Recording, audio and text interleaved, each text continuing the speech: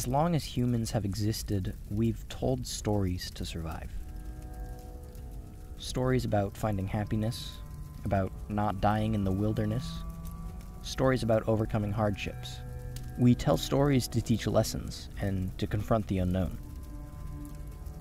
When the monsters that lurk in the dark threaten our safety and our peace of mind, we turn to our stories for advice and comfort. And entropy is no different.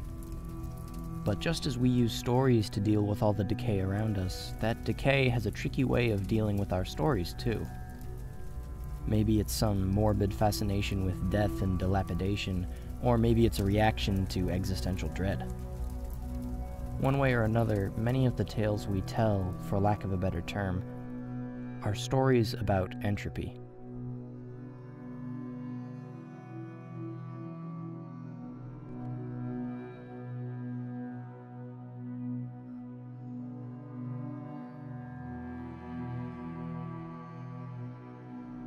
Turning and turning in the widening gyre, the falcon cannot hear the falconer.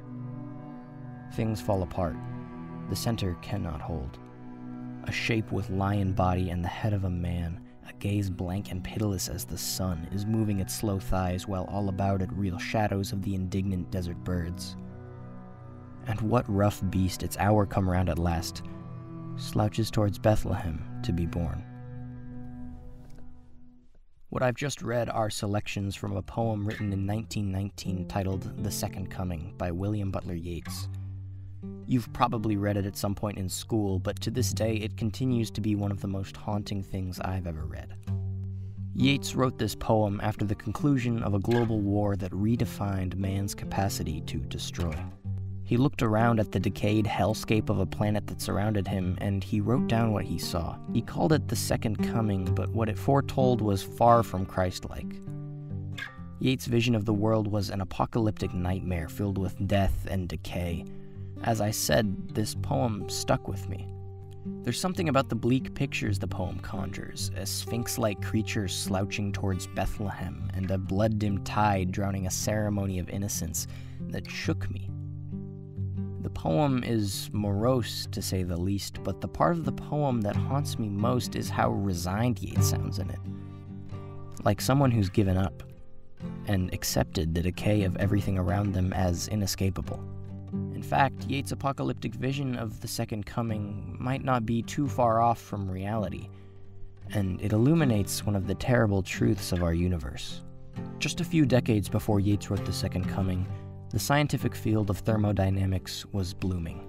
Contributions from the likes of Boltzmann, Clausius, and Kelvin helped to uncover a force powerful enough to explain not only the problems of thermodynamics, but to explain the great decay that was beginning to spread its fingers across the globe. The same decay that the Second Coming foretells. The single combining force that powers both our engines and our demise was given a name entropy.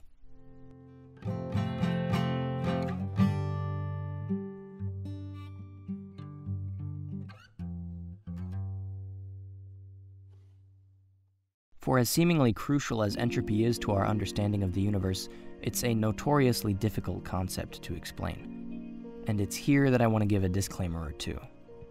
First, I'm not a scientist.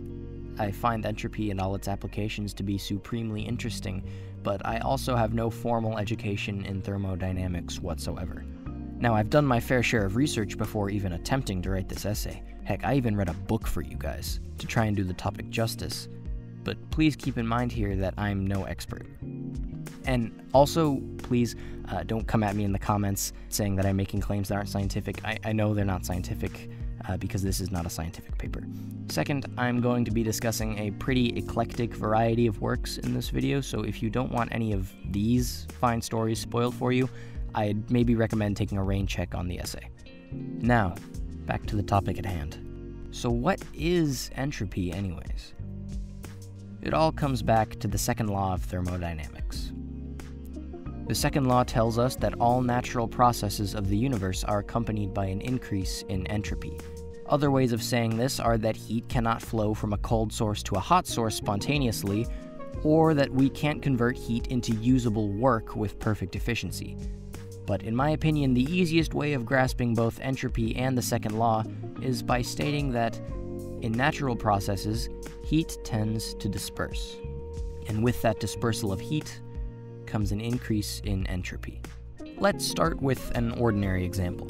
What happens when you pour cream into your coffee in the morning? It spreads out from where it was poured in and disperses throughout the coffee. You didn't do anything to make the cream move that way, it just does. That tendency for the cream to disperse chaotically through the coffee, to become disorderly, is entropy in a nutshell.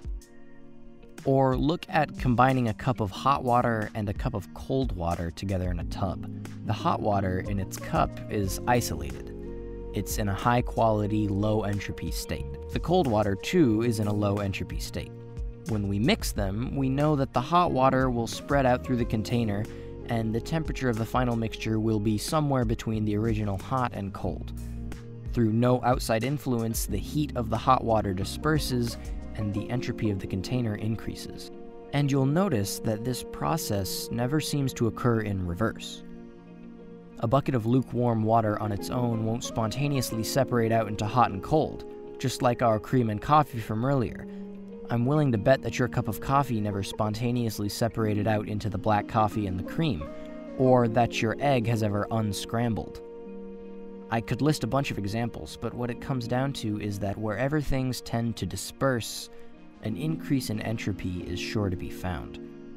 And once that process is done, it won't naturally undo itself. And it's for this reason that many scientists have coined entropy as time's arrow, since it seems to dictate the natural direction in which things tend to move. The fact that time marches forward and entropy will always be increasing alongside it are some of the only universal truths that we have. The increase of entropy is the irreversible melding together of things, the breaking of barriers that cannot be naturally rebuilt. The melting cube of ice will naturally decay, and so will we. What are humans but a tightly packed bundle of energy that can think? Like all other bundles of energy, entropy will eventually unwind us as well. I mean, look at what happens to us after we die we literally break down our energy spreading into the earth as nutrients. The second law of thermodynamics takes on a wildly different, morose feeling from this understanding. The entropy of our universe can only increase. Disorder, chaos, and decay are inevitable, and they are scientifically certain to only get worse over time. Eventually, it's why our little corner of the universe will come to an end, when the energy of the sun disperses in the form of a supernova entropy pervades all aspects of our life. It's why good things must come to an end. The low entropy state of life, with clearly isolated good and evil, will inevitably fade, and we are all thrown into the chaotic fray of compounding disorder.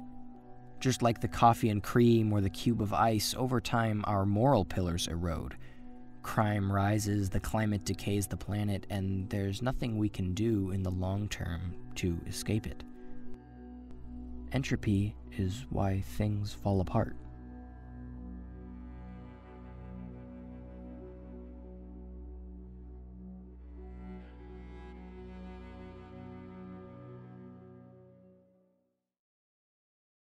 If you don't mind, I'd like to take you back to the 1890s. You see, at the end of the 19th century and the dawn of the 20th, the world found itself at a turning point. The Industrial Revolution irreversibly changed the structure of society, while Nietzsche and the nihilists proclaimed for the first time that not only was God dead, but that we had killed him.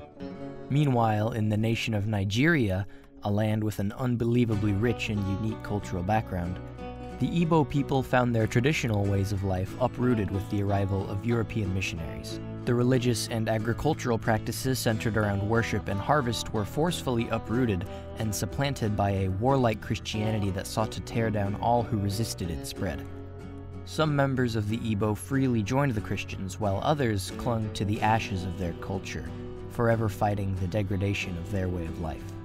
Decades later, a Nigerian writer by the name of Chinua Achebe would go on to write a novel chronicling the conquest of the English and the decay of the Igbo in a book appropriately titled Things Fall Apart.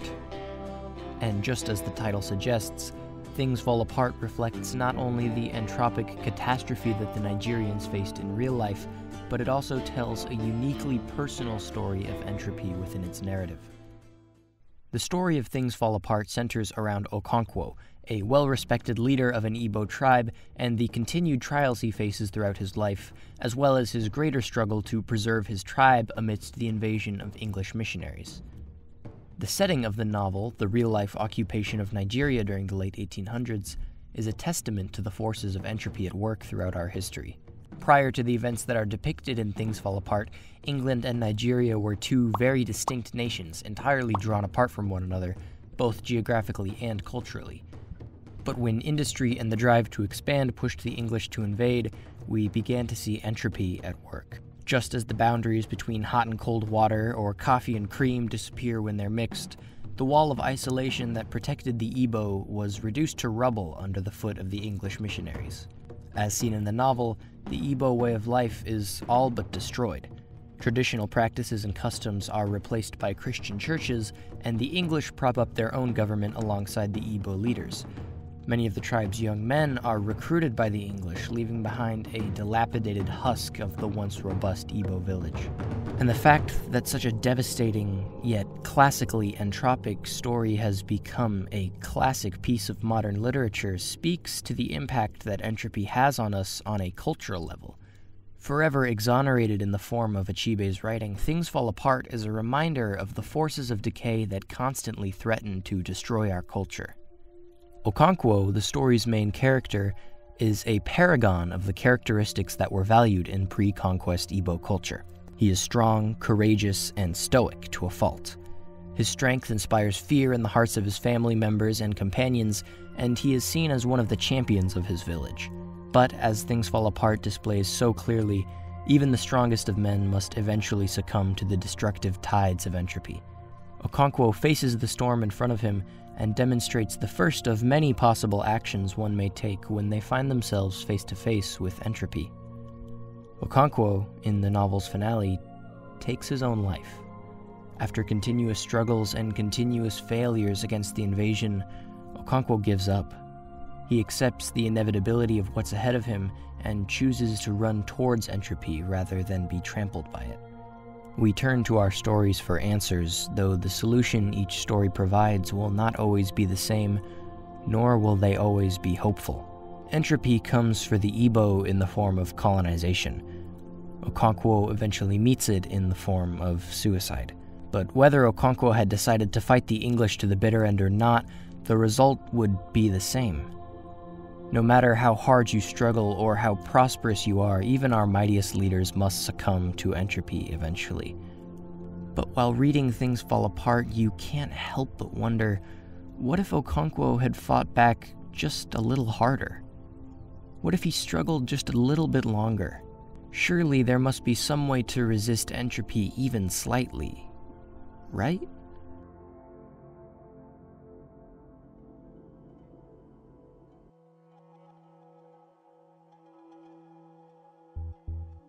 By the time Breaking Bad was entering its fifth season, fans of the show had a pretty good idea that things wouldn't turn out all right for the chemistry teacher turned meth emperor Walter White.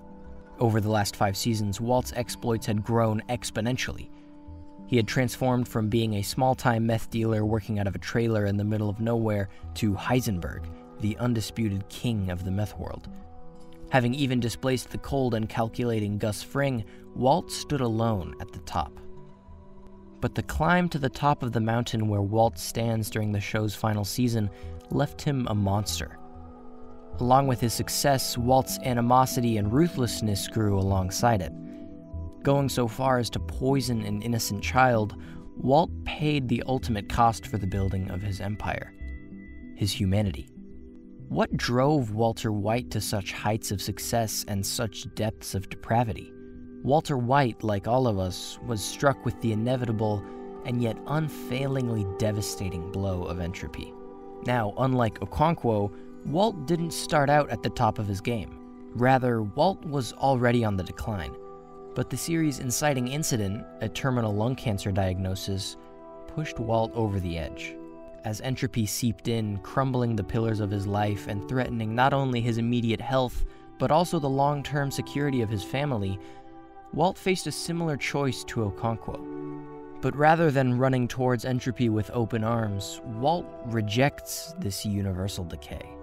He chooses instead to build up something new from the rubble of his current life. He, somewhat ironically, cloaks himself in chaos and unpredictability through his criminal namesake, Heisenberg, the founder of the uncertainty principle.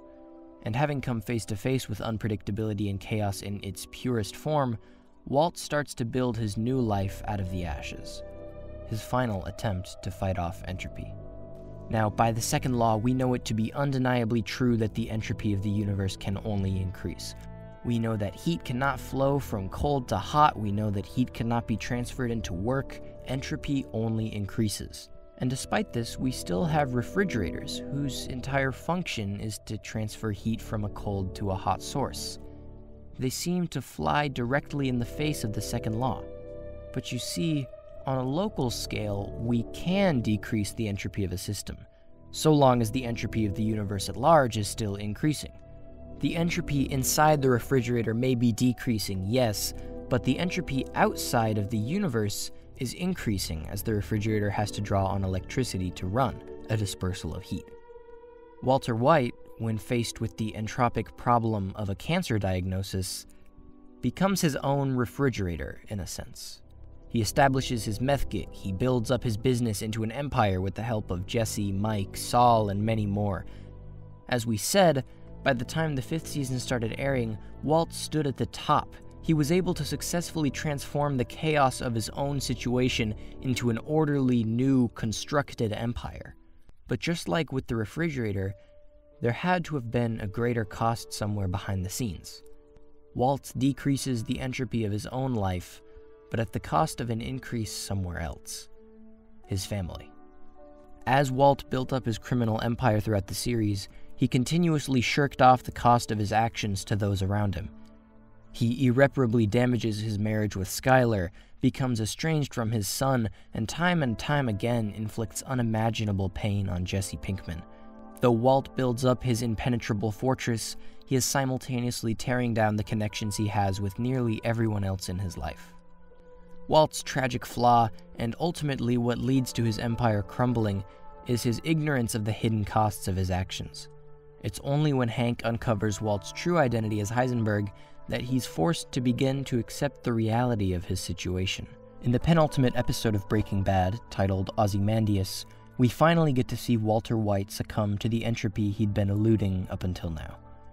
This infamous episode is named after a classic poem by Percy B. Shelley.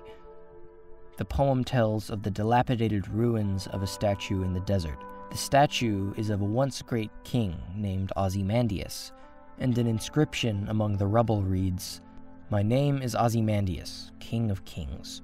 Look on my works, ye mighty, and despair. But just like its namesake suggests, Ozymandias shows Walt's kingdom crumble into dust around him, as we see the fallout of five seasons worth of abuse and struggle. Walt loses Hank, his family member, and is estranged from the rest of his family. His castle comes crashing down all at once. And though Walt manages to tie up many of his loose ends in the series finale, he is ultimately unable to save himself. Now, it might just seem like I'm looking at any story where bad things happen and saying, it's all about entropy. After all, just about every story ever has some sort of conflict or downward turn of events. It wouldn't be interesting otherwise. But the thing is, in most stories, that conflict is resolved by the end. In these stories about entropy, however, there is no happy ending. Things don't get better. Ever.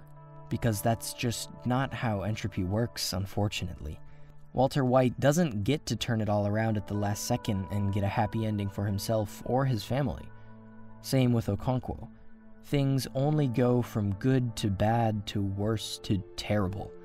And as we know, once entropy starts to decay things, there's no going back. With the death of Walter White, along with the state of those he left behind, it begs one to wonder if it was all worth it. Sure, Walt managed to fend off entropy and preserve his life for an extra year or two, and he even managed to build something that's undeniably pretty impressive along the way. but only at the cost of destroying everything and everyone around him, and eventually himself. Just as Things Fall Apart showed how entropy can break people down to the point of no return, Breaking Bad shows its audience that while you can evade entropy all you like, you can't run forever.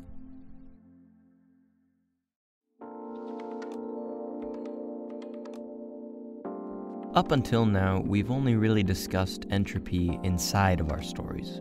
Okonkwo and Walter White both succumb to entropy, and their stories are realistic in this regard, but they're both ultimately fiction. What's interesting about the decay of stories through entropy is that not only do the stories themselves start to crumble, as we've seen, but the very structures and mediums we use to tell these stories crumble as well. For a long time, most of the stories of the Western world, and the Western world is just what I'm most familiar with, but there's a whole wide world of stories out there with varying structures and themes and styles that are just as interesting and distinct as the ones we're already familiar with. Go learn something new. Have abided by a set of rules. For a while, they went unspoken, but the likes of Joseph Campbell did a great deal to uncover these structures that acted as the framework for our stories. I'm sure you've heard of the hero's journey by now. It's become an incredibly popular topic amongst creatives since Campbell coined the term in his book, The Hero with a Thousand Faces. But by now, there are two things that we know to be true of entropy. First, entropy impacts everything. And second, if there's one thing that entropy excels at, it's breaking down structures. So, really, it's no surprise that as time has marched forward and we've gone from the modern to the postmodern and now to the post postmodern, it really shouldn't be surprising that entropy has gone to work on our story structures and the way we tell them. For example, traditionally, it's pretty much been a given that in our stories, time moves linearly, in one direction. It almost feels redundant to point that out. Like, look, everyone, time behaves as it always has. Well, of course it does. How else would time possibly behave? But since the modern era, this isn't always the case. Look no further than another classic modern novel, Kurt Vonnegut's Slaughterhouse 5. Time practically behaves in every possible manner except the usual one in Slaughterhouse 5. The opening line reads rather unceremoniously Billy Pilgrim has come unstuck in time. Framed around World War II, another colossal entropic lurch into chaos, Slaughterhouse 5 actively breaks down conventions of structure and of time itself. It's a little ironic when you think about it. We've talked about the idea of entropy being time's arrow, and here we are reaching the point where even time is breaking down in our stories. Entropy breaks down entropy. I just think it's funny. Not only structure and linear time are broken either. The boundaries of genre, medium, and even the lines between the story and the audience have been broken down as well. The once occasionally tampered with boundary between the audience and the story, known as the fourth wall, has been completely obliterated. Consider some of the video games that have been coming out in the last five years. Doki Doki Literature Club, an indie horror game that was making big waves a few years back, breaks boundaries of genre while utterly shattering the fourth wall. The game flawlessly blurs the line between dating simulator and psychological horror. The characters in the story interact with you, and not you meaning your character, but you, the person playing the game. The story becomes alive with characters deleting one another from the narrative and rewriting the story itself. It's total madness, and it's totally entropy. Undertale, another wildly popular indie game, similarly breaks the boundaries of what used to be possible in video games by redefining many of the benign game mechanics like saving and combat, and it turns them into story elements with in universe applications. Experience, or EXP, becomes execution points saving becomes a sort of meta in universe power system with alternating timelines. It breaks down not only conventions of genre, but conventions of video games as a whole. And this all to me is an interesting, beautiful consequence of entropy. Entropy is a terribly scary thing, no doubt. It tears down everything in its path, but on the way, there's some real beauty born from the chaos. Stories like those found in Doki Doki Literature Club, Undertale, or Slaughterhouse 5 would never have come to be if not for the opportunity for innovation brought about by entropy. The breaking of barriers can be a bad thing, but it also allows for creativity, freedom, and innovation. And so, before we step into the endgame of our reflection on entropy, I think it's been worth taking a step back to realize that, like everything, entropy is a two sided coin. So here we are. We've seen the creativity, the freedom, and the innovation that can come from entropy. We've seen how it can push boundaries of storytelling and pave the way for new and unique stories, but we've also seen how it can and will tear us all down. We still face our original problem. Is there a hope for Yeats in the world he described back in the Second Coming? Entropy is everywhere. It will come for all of us without fail. We've seen that we can run towards it or we can pitifully struggle against it. Neither one of these responses, though, grants us much consolation in the grand scheme of things. We will all have to face the storm of entropy at some point, whether we want to or not. But still, we run from it. We search for ways to stay forever young. For most of us, we try to live our lives not thinking about our eventual decay. But this frame of mind, like all things, will fall apart, and we'll have to face the music. It comes down to one central question What is the right thing to do when facing entropy? Our stories have given us plenty of cautionary tales, plenty of what not to do's. But what do we do when it comes for us and everyone we love?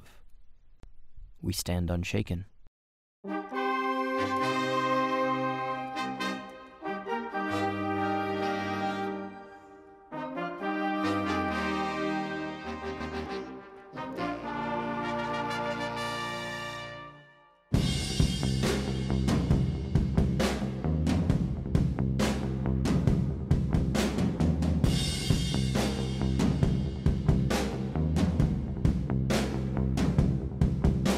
Red Dead Redemption 2 is not a game I initially thought I would come to for moral answers to the existential problem of entropy. The game, in its story, tries time and again to warn the player that it isn't moral, in fact. Do not seek absolution, warns one questline. But here we are. Rockstar Games' Red Dead Redemption 2 tells the story of a band of outlaws trying to survive amidst the end of the Wild West. Throughout the story, the gang continuously attempts to score one last big hit so they can escape to a fantastical paradise in some open country, but these attempts fail time and again, each with more disastrous consequences than the last. At the outset of the story, we are introduced to the Van der Linde gang not as criminals and outlaws, but as a family. Following their patriarchal leader and namesake Dutch Van der Linde, the contrast between our gang and the enemy factions of RDR2 become immediately clear. They are gunmen for hire, and we are a family that sticks out for one another. From coming together to survive terrible snowstorms in the mountains during the game's introduction, to habitually donating their own supplies for the good of the camp, the members of the Van der Linde gang are just nice. They're all pleasant to talk to, more or less, with unique backgrounds and relationships with one another that clearly run much deeper than what's presented in the game. In the beginning, the Van der Lindes are tightly bound together, isolated from the chaotic mess of the changing world around them. I said the Van der Linde gang was nice, and the first few chapters of the game keep this up. They're spent mainly performing benign odd jobs and getting into some zany gunfights and brawls. It's largely innocent, idyllic cowboy action. You can retrieve requests for your campmates, perform small time robberies with them, and just spend time hanging around camp with your family of outlaws. Not to mention that your playable character, Arthur Morgan, one of the leaders of the gang and the effective son of Dutch, is an absolute delight to play as. You, sir, are a fish.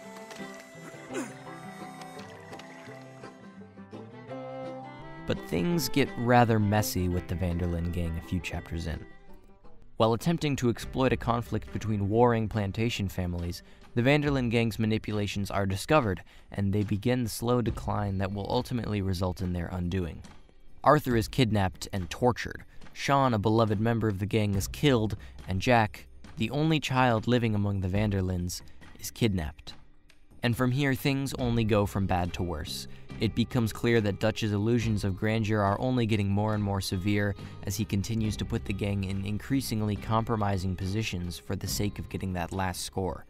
Heists go wrong, the gang is betrayed by those they once considered allies, and all the while Dutch is only dreaming of farming mangoes in Tahiti. After a failed bank robbery that results in the deaths of even more of your beloved family, Arthur, Dutch, Micah, and a few other gang members find themselves stranded on the desert island of Guarma. Once back on the mainland, the final chapter of the game begins to accelerate much more quickly. Entropy has clearly been at play up until now, but it's at this point that the slow collisions turn into an all out train wreck. Arthur Morgan, who by this point we've been playing as for dozens of hours, is diagnosed with tuberculosis and this moment changes everything. Things with the van der Lindes have been decaying for quite some time, but Arthur was always hesitant, always standing outside, criticizing the decline of Dutch and the van der Lindes, but begrudgingly going along out of loyalty. But with the diagnosis of Arthur's terminal illness, the external increase of entropy is magnified into a much more immediate and personal threat. The gang was always going to spoil, but now it's been given an expiration date. And things move pretty quickly from here on out. Dutch gets the gang involved in even more needlessly risky plots. Newcomer Micah continues to feed Dutch's paranoia, and many of the remaining gang members either die or desert. When things eventually reach the breaking point, Arthur gives up his life to make time for John Marston to escape with his family, while Dutch and Micah go their separate ways. The van der Linde gang as we know it has died utterly reduced to mere rubble, leaving behind a trail of traumatized survivors and broken bonds. What went wrong? Why did it all have to end like this? For fans of the game, it's easy to blame Micah as the one solely responsible for the undoing of the van der Lindes, but like in real life, the reason why things fall apart is often bigger than any one person. Sure, Micah expedited the process, but the game is overly clear that the van der Lindes were one of the last of their kind. The text at the beginning of the game's opening cutscene reads By 1899, the age of outlaws and gunslingers was at an end. Regardless of whether or not Micah was there, the world simply wasn't made for outlaws like the van der Lindes anymore. Just like how the arrival of the English in Nigeria largely stamped out the Igbo culture, the settling of the West almost guaranteed that outlaws would be snuffed out. And this is clearly seen throughout the game. Many of the side quests available to you are bounty hunting missions where you actively contribute to the settling of the West and the decay of the outlaw lifestyle. Though Micah was perhaps the catalyst of the gang's demise, the world and story of Red Dead Redemption 2 never shy away from the fact that what the van der Lindes had could never last. Just as entropy dictates, the outlaw lifestyle, like all things, will decay into nothing, and the van der Linde gang disintegrates along with it. This may all sound like a carbon copy of the other major stories of entropy we've looked at so far, and to some extent it is. Since entropy is so universal, it figures that entropic stories will generally follow that same structure of decay. But Red Dead Redemption 2 handles this decline in a way that's unique from our other examples. Whereas things fall apart and Breaking Bad are ultimately tragedies, Red Dead Redemption 2 has a distinctly hopeful ending. And it all comes back to Arthur Morgan and his reaction to the entropy dealt to him.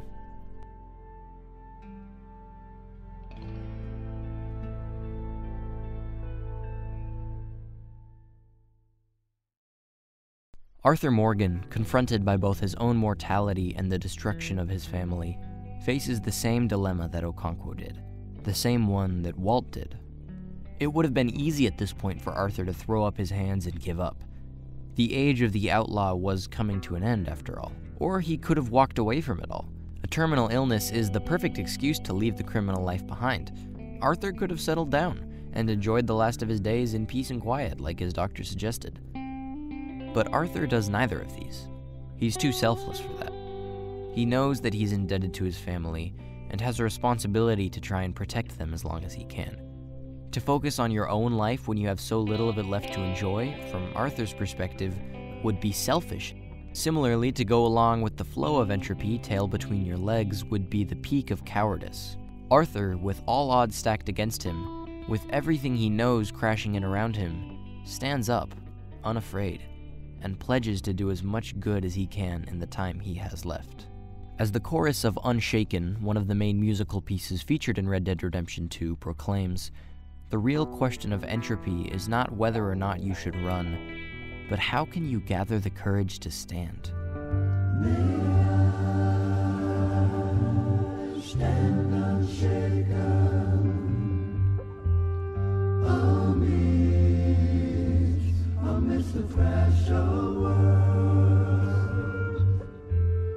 The climactic missions and crazy gunfights are certainly a height of Red Dead Redemption 2's final chapter, but the real meat of it to me were all the opportunities you get to make amends and to help others. The quest line where you teach a widow how to support herself in the woods was honestly one of the best in the game, in my opinion. And aside from that, you can forgive people's debts, encourage your friends to leave the gang before things get ugly, and even help out the family of the man who you contracted tuberculosis from. It's honestly pretty profound. Arthur is given more than enough reason to be bitter. Between contracting a terminal illness, losing countless loved ones, and being stranded on a desert island, Arthur Morgan should be very justifiably resentful.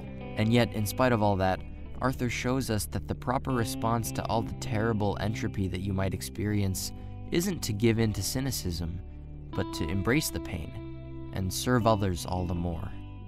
Arthur doesn't deserve any of what happens to him, but unfortunately, entropy doesn't seem to care too much about who deserves it and who doesn't. There's no avoiding entropy, and we all get dealt our share of it one way or another. What really matters is what we do next, given the fact that we're all going to suffer. Do we throw up our hands? Or do we embrace it, like Arthur, and strive to make life just a little easier for those around us? And this, as far as I can tell, is the real answer to entropy. Arthur Morgan is unable to escape his entropic fate. In fact, he doesn't really try to mitigate it at all. But through his goodwill and actions in the final chapter, he succeeds in reducing the entropy of countless people around him. A widow who would have died in the woods learns how to live. A family down on their luck in the depths of poverty gets another chance. And look at how he was able to give the Marston family a chance to escape the collapse of the Van der Lindes. Thanks to Arthur, they were able to take a step back from the entropic mess that Dutch and Micah caused, and were given a second chance at life. We know from our lessons from the refrigerator earlier that reducing entropy in one place must come at the cost of an increase somewhere else. The really noble aspect of Arthur Morgan, the one that sets him apart from the likes of Walter White or Okonkwo, is that he paid that price himself. He sacrificed his own life, his own energy. He willingly increases his own entropy to help others live just a little bit easier. Objectively, Arthur Morgan's story is tragic. His family falls apart. He is unable to overcome his illness, and he ultimately dies at the hands of someone he once considered an ally. But those who've played Red Dead Redemption 2, those who really resonated with Arthur, know that he is one of the most noble, inspiring protagonists out there. He may not have won the battle against entropy. Who can? But he gave those around him the chance to stay one step ahead of it for just a little bit longer. Now, of course, it would be silly of me to suggest that simply helping others will circumvent all entropic activities of the universe. But it never hurts.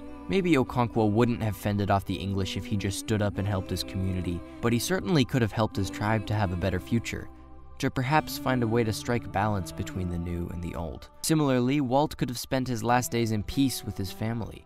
He could have accepted help when he needed it and helped others when they needed it. Entropy is a scary, awful, terrible guarantee that barriers will always break. But it's not something that we necessarily have to resent. Through the chaos and the disorder, real creativity and original ideas can start to take shape. New, unique little structures that pop up amidst the compounding chaos. And really, that's all you and I are temporary exceptions to the rule of decay. By some unimaginable luck, while everything spins into nothing all around us, we wound up taking shape in some sense, succumbing to entropy isn't a defeat, it's giving back what's owed. That process is hard to deal with, especially considering none of us asked to be here in the first place. But why make it any harder on each other? If you ask me and Arthur Morgan, the only moral action to take knowing that we'll all fall apart is to make sure our friends fall as soft as they possibly can. Our stories have acted for so long as our weapons used to fight back against pain and decay but their blades have inevitably started to dull. The strongest weapon in our arsenal against entropy, it turns out, might just be compassion. So when the conquerors come to destroy your culture, when your empire starts to crumble, and when your family loses its way, when inevitably entropy comes to you, that crash of worlds, and you feel bitter like giving up, you know what to do. Stand up and as much as you possibly can, with all the strength you can muster, stand unshaken.